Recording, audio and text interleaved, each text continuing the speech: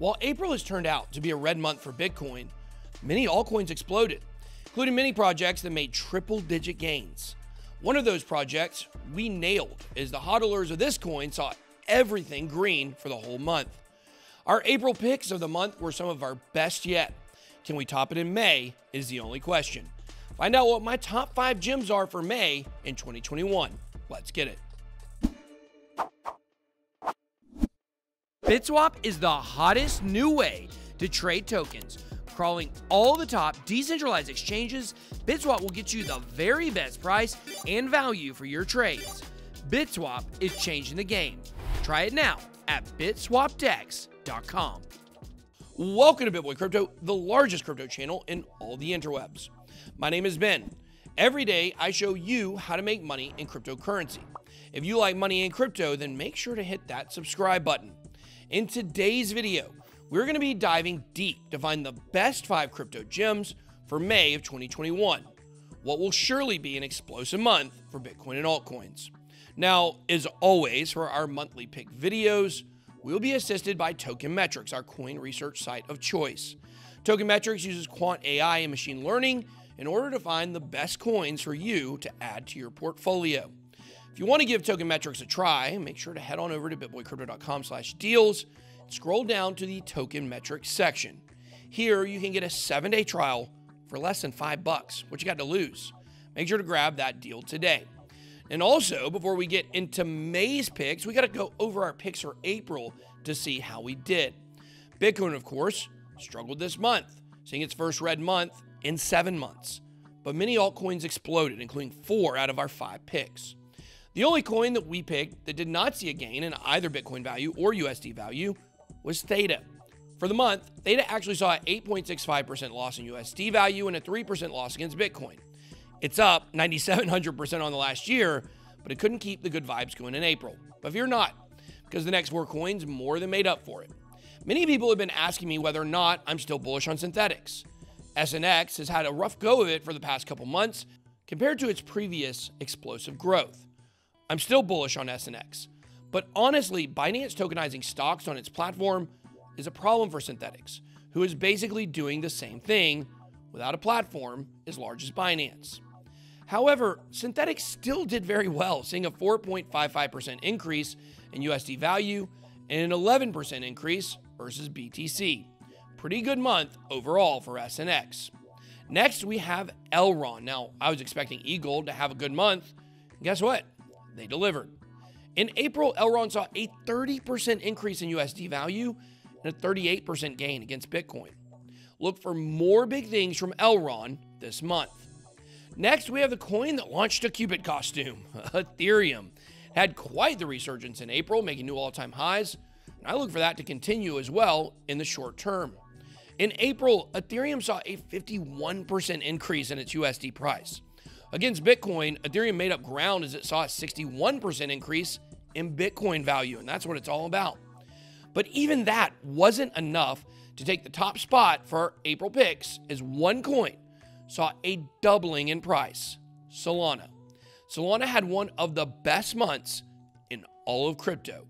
It made triple digit gains in USD value and in BTC value, seeing a 122% spike against the dollar and a whopping 136% gain against Bitcoin. Now, if you had followed our April picks, which aren't financial advice, of course, you would be seeing green all over your portfolio. Okay, so we had over 200% total gains for the month. But what about May? I think for this month, I've got some big certified winners. Coming in number five, I have FTX token. It's a little tricky because the ticker is actually FTT. So, how good is FTX? Well, Binance is copying them. FTX was the first exchange to create tokenized derivative versions of stocks, including Tesla and Coinbase. Binance made news when they began doing that last month as well, but FTX's exchange did it first. If you're unfamiliar with FTX's exchange, you won't be unfamiliar for long.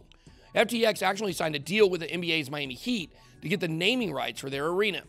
So every time a game or an event is held at the Miami Arena, everyone will be exposed to FTX. The FTX chart is also looking like it's ready for its next leg up. I believe May will end up with a much more expensive FTX token as it could exceed $1 per token in the near future. At number four, I have Chainlink. Link had a resurgence in April, but seems to be coiling up for another major move. Chainlink, of course, is the number one overall blockchain Oracle project and has fared incredible over the last few years. But if you look at the overall pattern of Link on the charts, you'll see it generally has large spikes, crashes, accumulation, and then it does it all again. Now, as the bull market continues to get more bullish this year, these accumulation stages are becoming smaller and smaller. This leads to a parabolic crescendo at the end of this market cycle that will most likely come in quarter four of this year, especially for altcoins. To me, Link seems to be at the point where it's ready to explode again. It's fallen outside the top 10, coming in at number 12 right now. It's been as high as the top 5 before, and I believe it has the strength to get there again very soon. May could be the month where it starts to climb once again towards those higher rankings. In my opinion, I will be shocked if we do not see a $50 link by the end of this month. Coming in at number three, I have Luna. This is the second time in three months that Terra is on our monthly coins list. And the last time we included them, they saw a triple digit percentage gain, making it one of the most profitable coins we had ever covered in our monthly picks. The question is, how much more upside does Terra have? Well, it actually managed to go all the way up to the top 12 before falling down to currently its position at number 25. It's held tough in the top 30, but it's a far cry from where it was at its peak. One of the things, though, that people underestimate with Luna is its tokenomics. Luna has some very interesting stuff happening in terms of burning its supply. Every time the stablecoin of the Luna blockchain is minted, Luna itself gets burned. The stablecoin UST is a driver of that burning mechanism. When more Luna is burned, the more valuable the remaining Luna is. These functions have led to a sustainable rally for Terra Luna, and I think that continues this month. In number two, I have Polkadot, and of course, a side mention of Kusama. You have to understand when Polkadot pumps, Kusama usually does too, so they move in tandem. But more on DOT. I believe May is going to show the return of Polkadot. I actually bought $800,000 worth of DOT this month. So let's get more into why. Well, first and foremost, we recently had a double bottom for Polkadot on the charts. You see the beautiful bounce off the $30 level here. While it's easy to see the DOT could return to $40 or even $45, I believe this is the month DOT shakes the $45 resistance and surges well above $50. A breakout is upon us for Polkadot, and I believe it may happen in May. It was supposed to be a pun. When it comes to DOT, it's all about the ecosystem.